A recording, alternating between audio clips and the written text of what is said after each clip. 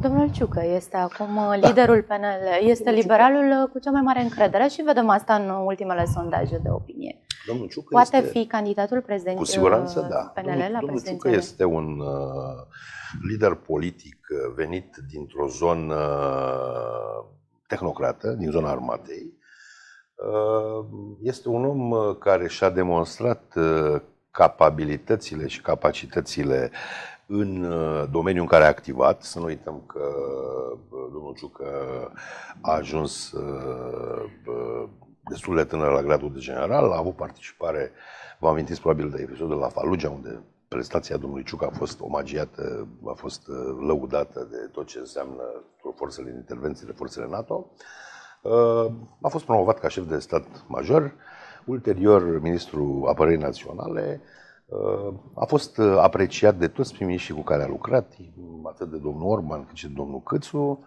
Uh, A fost prim-ministru interimar în momentul când Orban și-a demisia în 2020. Beneficiază de o foarte bună susținere și s-a pus întrebarea și, la momentul respectiv de ce facem că Ciucă nu are carismă.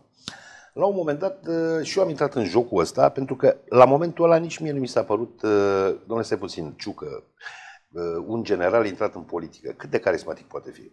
Și inițial am avut și eu niște rezerve la adresa carismei domnului Ciucă. Uh, într-un timp relativ scurt, am avut ocazia să constat că Ciucă e un tip uh, chiar plăcut. Un tip care înțelege lucrurile, un tip care chiar are carismă. Dar, mă rog, faptul că el vine din zona militară, faptul că este un tip destul de rezervat, Uh, face ca anumite lucruri lor să se vadă puțin mai greu. Uh, de la întâlnire la întâlnire, constat că domnul Ciucă uh, stăpânește destul de bine problematica pe care trebuie să o stăpânească. Este un lider politic informat și marele avantaj pe care îl are, vorbește puțin și se ține de lucrurile pe care le spune. Deci iată are PNL candidat la prezidențiale.